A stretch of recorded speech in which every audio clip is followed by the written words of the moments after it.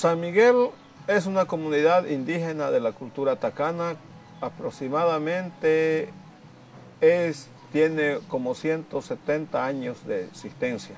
Es una comunidad muy antigua. Nosotros los sanmigueleños siempre somos individual, trabajamos de una manera muy individual, muy solos en nuestra comunidad, en nuestra casa, en nuestro chaco con nuestra familia. Jamás nunca acostumbramos a trabajar colectivamente en grupos. Nuestra forma de vida realmente se consiste en la convivir con la naturaleza, aprovechar los recursos naturales.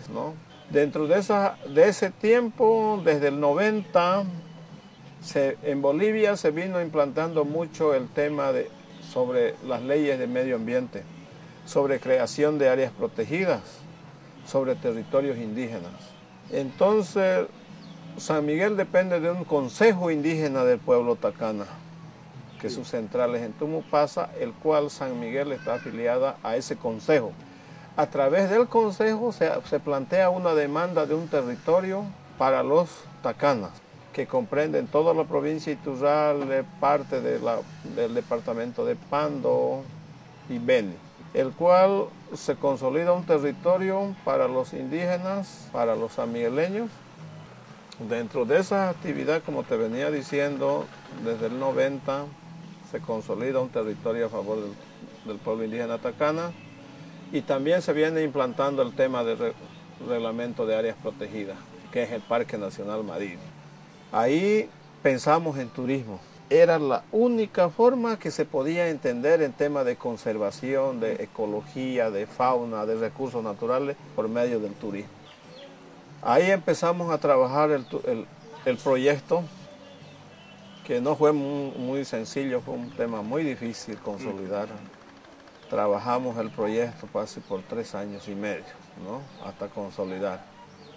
Aparte de eso, que era trabajar el proyecto, era capacitarse también cómo poder atender al cliente en varios temas. En tema de guiaje, guías interpretativos, servicios de gastronomías, servicios de primeros auxilios, y también gestión empresarial en el tema administrativo, cómo manejar los recursos. ¿no? San Miguel se llama la comunidad, San Miguel del Bala se llama el proyecto y San Miguel del Bala se llama porque en la serranía más alto hay ese espacio, por eso se llama San Miguel del Bala porque es ahí como si haya pasado una bala y haya sacado ese pedazo.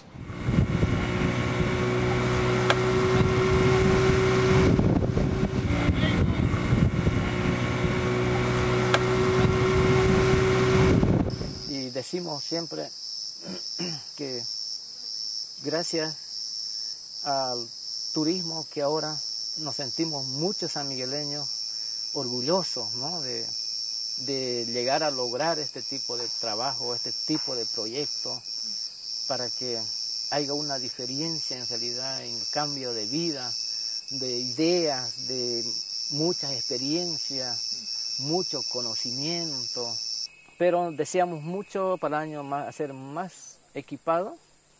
Esperamos de que vengan más turistas. Estamos nosotros como guía listos para esperar, para seguir haciendo conocer, eh, darles eh, interpretación de observaciones en diferentes circuitos, en diferentes senderos, en diferentes sitios diferentes ecosistemas. En realidad tenemos mucho para, como te contaba, no tenemos mucho para explicar nosotros al turista cuando viene, en realidad hacer sus observaciones, intérprete dentro de la selva. Entonces, el Chaco ya un poco lo están dejando, pero es bien por lo que en realidad con el turismo nosotros mismos hemos pensado de que ya no podemos estar eh, talando árboles, depedrando el bosque, son ecosistemas muy delicados que puede, bueno, podemos ser, puede entrar en un sistema de extinción por culpa del hombre, de nosotros mismos. Ahora con los niños se está haciendo otro trabajo, otro proceso, ¿no?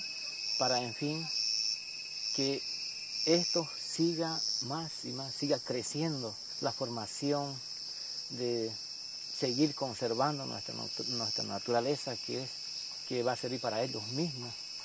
¿no? Y ese es nuestro, nuestro gran deseo de nosotros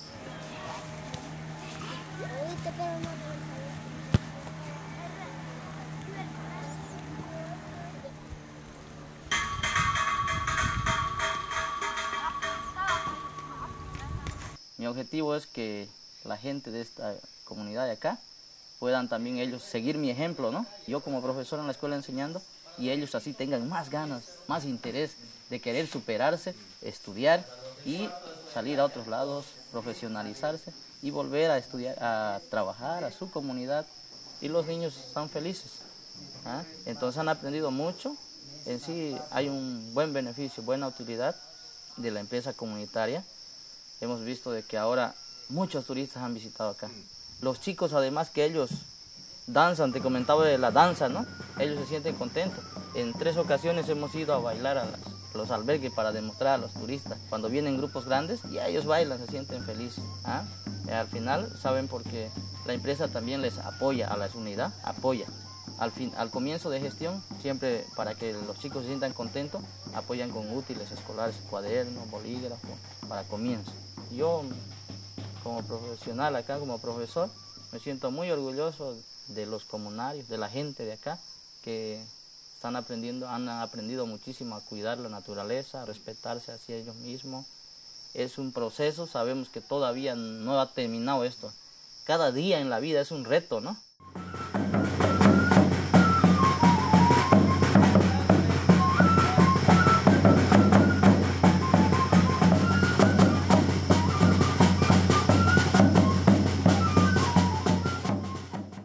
Hemos consolidado el proyecto muy interesante.